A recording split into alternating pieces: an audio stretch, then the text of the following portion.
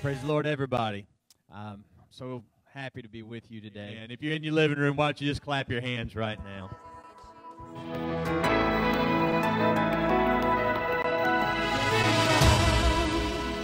will bow down and say you are God.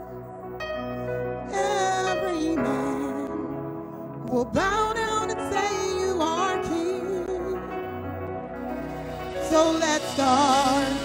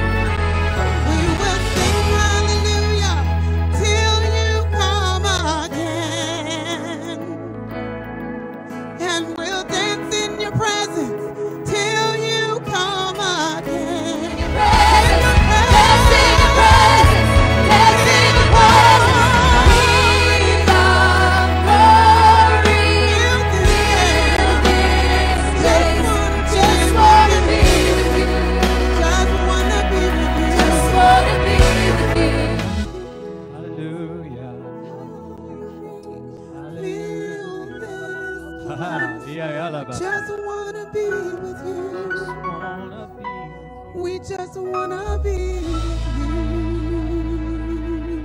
Hallelujah. Hallelujah. Hallelujah. Hallelujah.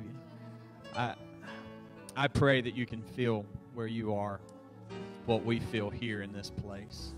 Feel the presence of God. You know, it's amazing, but I've, I've during this season I felt the presence of God in such a powerful, strong way. God's doing something amazing, and I'm just believing that something awesome is going to happen. Amen. Also, also, um, there have been many that have been asking us how to give, and, and I want to say thank you to those who have been uh, uh, continuing to give online and even through mail. But uh, for those who have been asking, uh, our number is 931 240 3275. That's you text that number and just text the word give, G I V E, to 931 240 3275. And uh, we would greatly appreciate that. Then also, um, our physical address here is Fountain Truth Church at 7036 US Highway 70, Bartlett, Tennessee 38133. Um, people have been asking me about our Easter service. Um, because of these newer guidelines and restrictions, um, we're not going to be able to do our drive-in service like we had talked about Wednesday night um, because we're trying to um, we're trying to be easy to deal with and we're trying to be as safe as possible.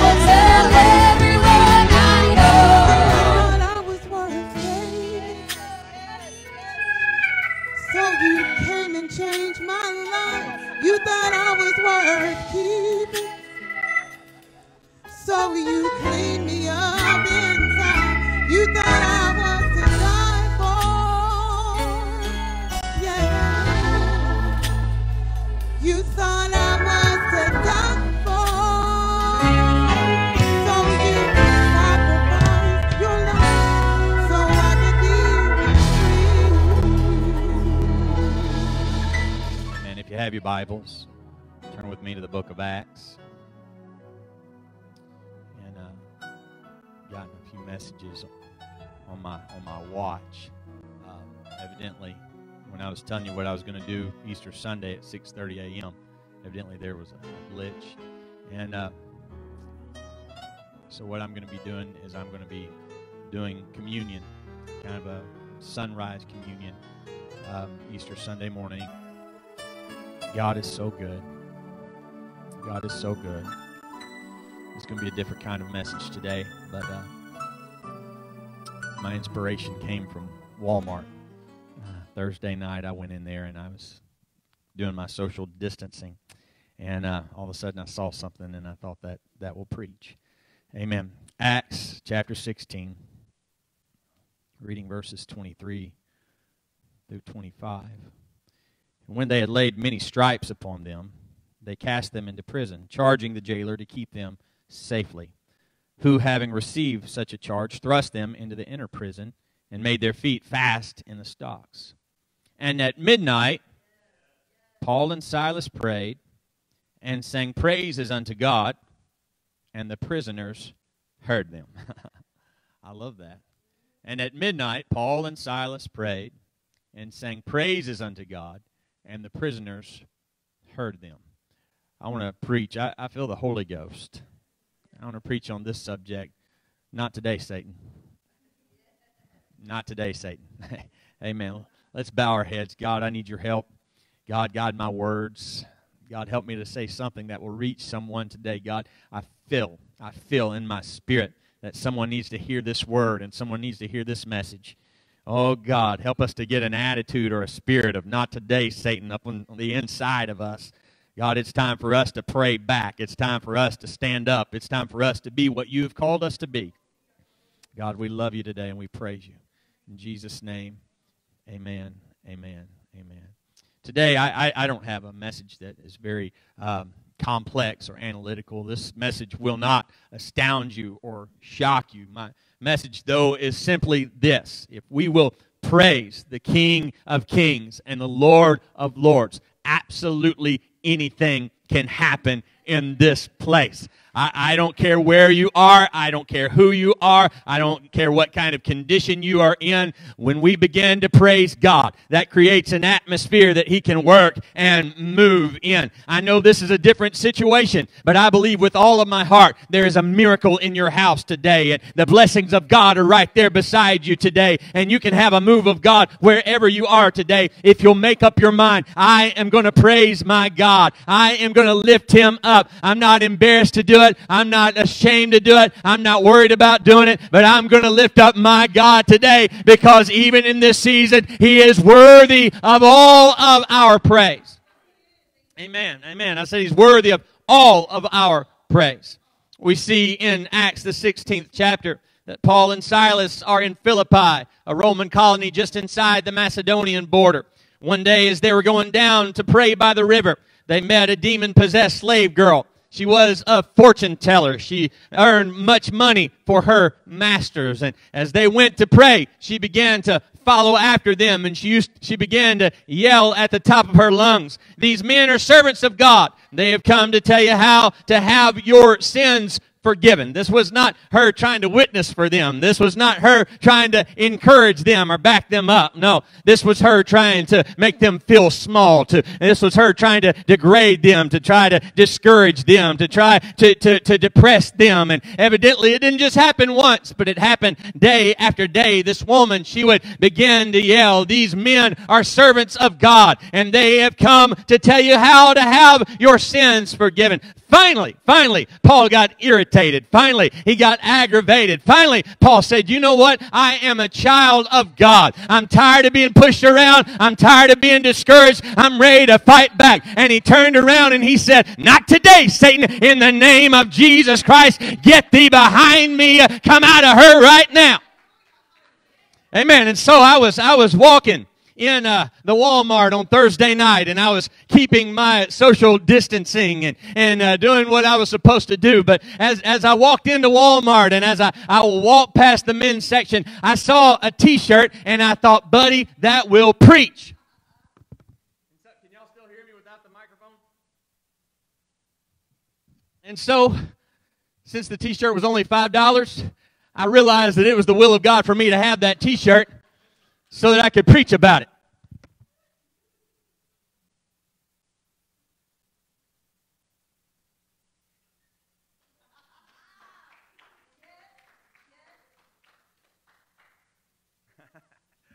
You can think this is funny if you want to, but I feel the will of God right now because I feel like there's some people in here that need to be reminded you are a child of God. You are a child of the King and you've been pushed around too much. Depression has tried to fight you. Anxiety has tried to fight you. It's time for you to make up your mind. Not today, Satan. I rebuke you in the name of the Lord. The Bible said that when Paul rebuked that spirit, it came out in that same hour. I'm telling you that there is still power in the name of Jesus. There's power over disease in the name of Jesus. There's power over depression and anxiety in the name of Jesus. There's power over darkness in the name of Jesus.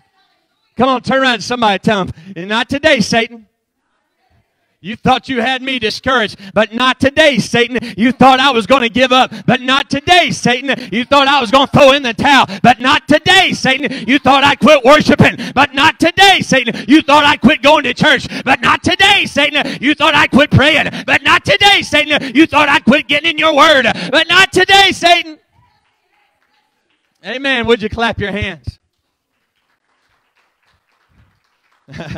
but her master, sing that the demon was cast out of her and seeing that she could no longer tell fortunes and make them money. Her masters became angry. They went to the magistrates or the law. They told them that Paul and Silas were troubling their city, were teaching uh, customs which were against the law. In Acts 16 verse 22, it says this, and the multitude rose up together against them, and the magistrates rent off their clothes and commanded to beat them. You see, what happened was the devil saw the work that Paul and Silas were doing for the Lord, and he didn't like it. He saw that they were telling people about Jesus, and he didn't like it. He saw that they were casting demons out, and the devil didn't like it. He saw that they were baptizing people in the name of Jesus Christ, and he didn't like it. And he decided if he could have Paul and Silas locked up, if he could have them put into prison, then their work, God's work through them could be stopped. Listen to me, church, today. The devil doesn't like the work that we do. The devil doesn't like to see you witnessing to your family and to your coworkers. The devil doesn't like to see a revival breaking loose in Bartlett and in Memphis. The devil doesn't like to see people being filled with the Holy Ghost and repenting of their sins. The devil doesn't like to see people being baptized in the name of Jesus. But I want to remind you uh, of an old song we used to sing. I don't care what the devil don't allow. I'm going to worship it anyhow. I wish uh, get thee behind me, Satan. I wish uh, don't mess with me, Satan. I wish uh, not today, Satan uh, would rise up in your spirit and you would say, I don't care what you don't like. I'm going to worship God anyhow. I don't care if you fight or not. I'm going to live for God anyhow. I don't care what the devil doesn't allow. We're going to go around and witness to everybody we know anyway. I'm going to be blessed anyway. We're going to have revival anyway. The church is going to grow anyway. Not today, Satan. We're having church in Memphis. Not today, Satan. We're having revival in this world. Not today, Satan. But the devil would like nothing more than to stop the work that God is doing through you. He thinks that he can do this by putting you in a prison like he did Paul and Silas. You see, the devil likes locking God's people up. The devil likes making God's people feel as though they are isolated and they're all by themselves. The devil would like to put you into a prison of self doubt uh, debt, uh, uh, a self doubt, a prison of shyness, saying things like, I can't do it. I'm too young to do anything for God. I'm too old to do anything for God. I'm not good enough to do anything for God. The devil would like to put you into a prison of illness. Ah, ah, ah, I, am scared I'm going to get this virus. I'm, I'm scared I'm going to get a bad diagnosis. I'm, I'm scared uh, uh I'm going to be sick and, and I won't be able to live for God. The devil would like you to put you into a prison of sin. I just can't give up my sins. It's just too hard. I would do something for God, but I can't give up these habits. I would like to make a stand for Jesus, but my sins have too strong a grip on my life. The devil would like to put you into a prison of defeated thinking, saying nothing good ever happens to me. I can't lead anyone to God. Our church can't have revival. I can't break loose out of these chains. The devil would like to put you into a, prison of your past sins. You just don't know where I came from. You don't know how many mistakes I've made. I, am not good enough to be involved in the work of God.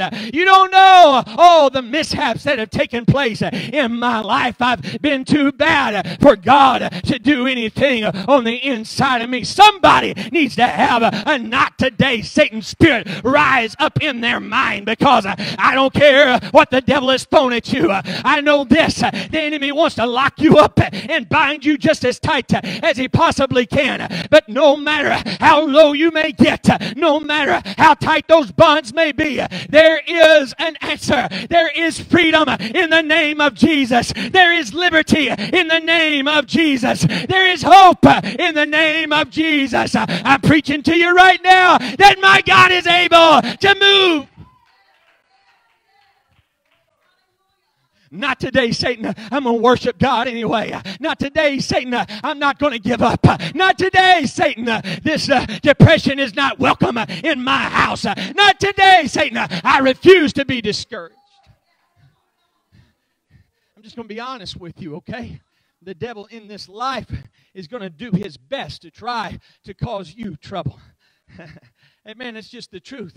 I, I, I, spoke this Wednesday night. It rains on the just and the unjust. I, when, when, when you decide to live for God, that doesn't mean your life is going to be problem free. That means that the devil is going to put his crosshairs right on your back and he's going to do absolutely everything he can to, to discourage you and fight you and get you to stop. But years ago, I'm, I'm talking about 20 years ago, I was here at this church and, and uh, I, I went and I found a church bulletin and there was a poem in there. And and I, I, believe it's the will of God for me to read it to you today because I, I believe this will help you. It says this When troubles assail you, God will not fail you.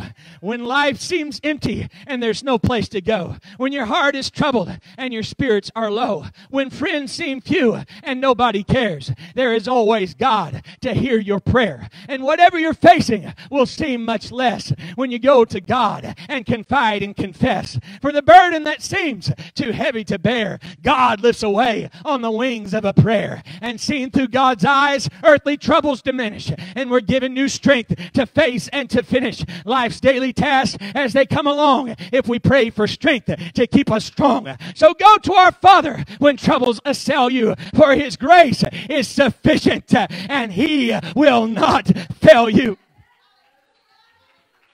I don't know what's going on in your life, but I know a God that cannot fail. I don't know how much pain you're in, but I know a God that cannot fail. I don't know, I don't know what you're dealing with, but I know a God whose arms are bigger than ours, whose hands are bigger than ours. I know a God who is able. He is able. Now, here are Paul and Silas. Here they are. They've been stripped. They've been beaten. They've been cast into prison. Their feet were placed in the stocks. Amen. I bet the devil thought that he had them beaten. I, I, I bet the devil had a big grin across his face. Try to have revival now when you're locked up. Ha ha. Try to witness now. Ha ha. Try to try to have joy in your life now. Try to have peace in your life now. See, I got you now right where I want you. If anybody had a right to be discouraged, it was Paul and Silas. If anybody could have possibly gotten mad, it was Paul and Silas. If anybody could have given up, it was Paul and Silas. But they didn't get mad at God. They didn't give up. They didn't quit.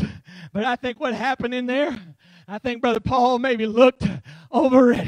Brother Silas said, I know your feet are hurting, and I know you've been embarrassed, and I know it's dark in here, and I know the situation stinks, but I made up my mind that the enemy is not going to win. And I just feel like he just he just went ahead and said, Not today, Satan. I'm going to worship God anyway. And at midnight, Paul and Silas prayed and sang praises unto God, and the prisoners heard them. You see, Paul and Silas knew that God inhabits the praises of his people. They knew that when the praises goes up, the glory comes down. They knew the only answer they had was by touching God. And so at midnight, in a situation of misery, they began to lift their voices and they began to sing unto the Lord, and God moved. Oh, I feel the Holy Ghost. I wish you'd just say, Not today, Satan. You will not win. I'm going to praise him because when the praises goes up, the glory comes down. He doesn't say when the praises. He doesn't say he inhabits the praises of his people at the church house. He doesn't say he inhabits the praises of his people at the temple. He doesn't say that. It just says that he inhabits the praises of his people. I may be all by myself, but I'm going to praise Him. I'm going to lift Him up. I'm going to worship Him. Amen. Amen. Amen. Amen. They had been beaten, but they praised God anyway. They had been stripped, but they praised God anyway. They were in prison, but they praised God anyway. Others were staring at them, but they praised God anyway. Others probably told them, Why don't you just be quiet? Why don't you shut your mouth? But they praised God anyway. Anything to touch heaven, anything to have a move of God, anything to have peace in my life, anything to have liberty in my soul, anything. I've got to touch Him. And all of the sudden, suddenly, there was a great earthquake so that the foundations of the prison were shaken, and immediately all the doors were open and everyone's bands were loose. Oh, I wish you'd praise God right now. Oh, I wish you'd lift Him up right now. Oh!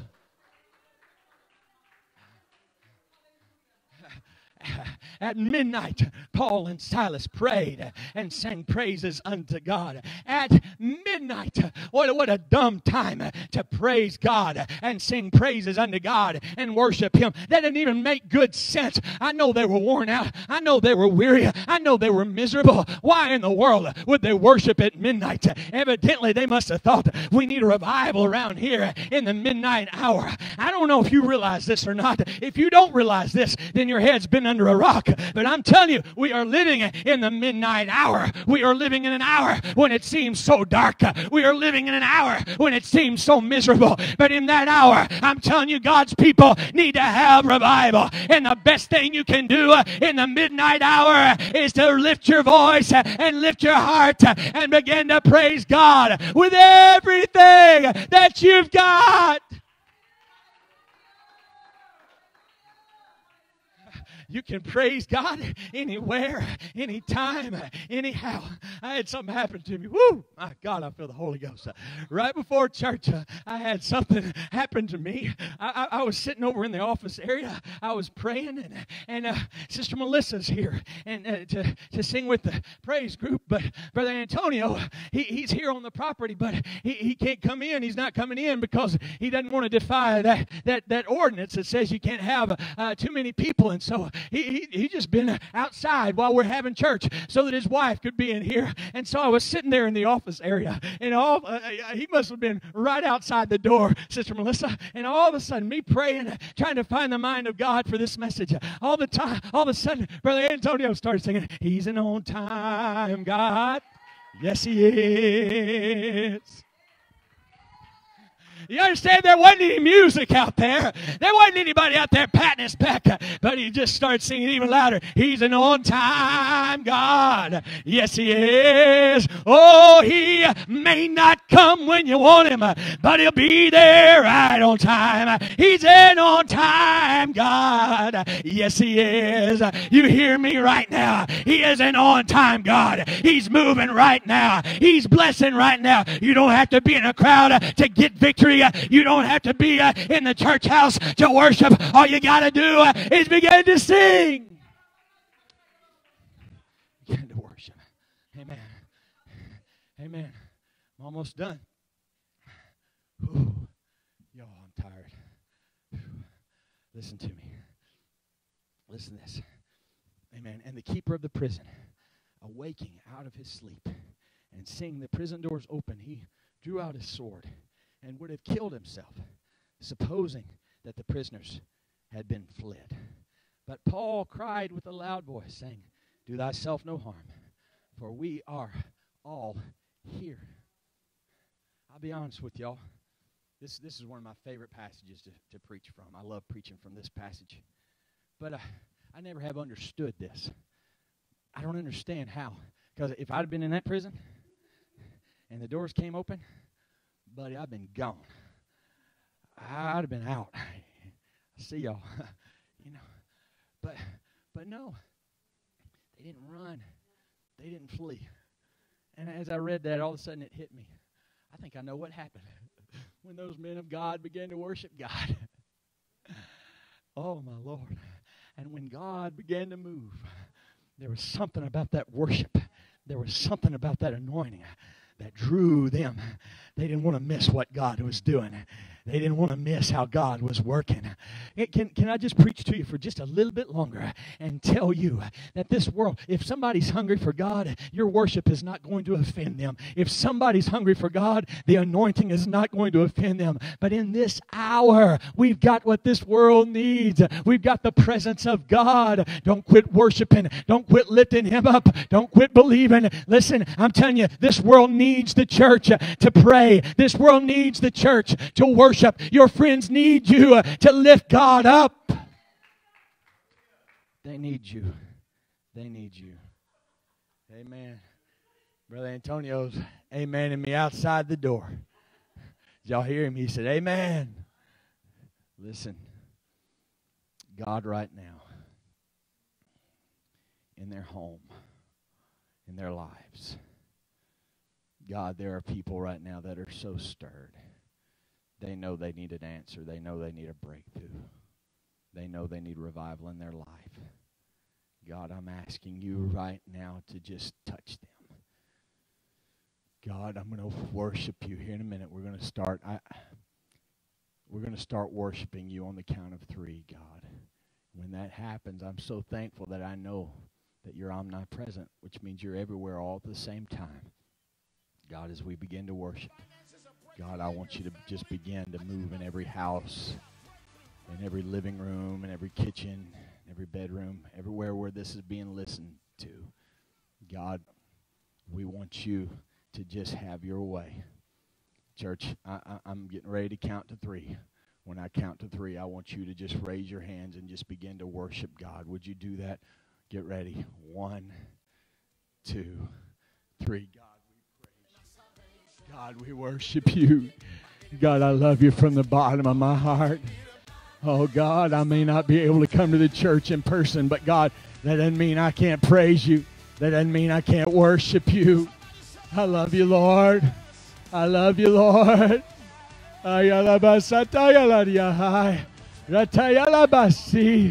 Hallelujah. We love you, God.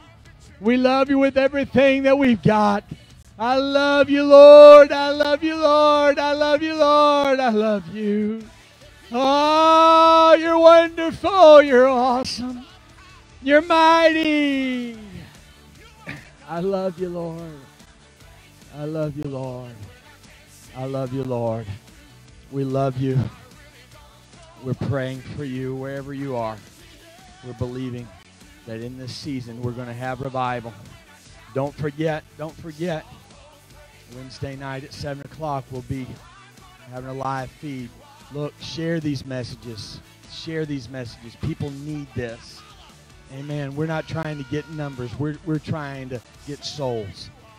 Share this. My house, we're going to be praying. Amen. Please try to stay home and try to be safe. Amen. We love you all. Next next Sunday, it's Easter Sunday, 6:30 a.m. I'm going to be doing communion, and it's just going to last maybe 15, 20 minutes, and then we're going to be having church at 11 o'clock, live feed from right here. I'm going to wear my Easter Sunday tie. Amen. God bless you. I love you with my whole heart. Amen. Be safe.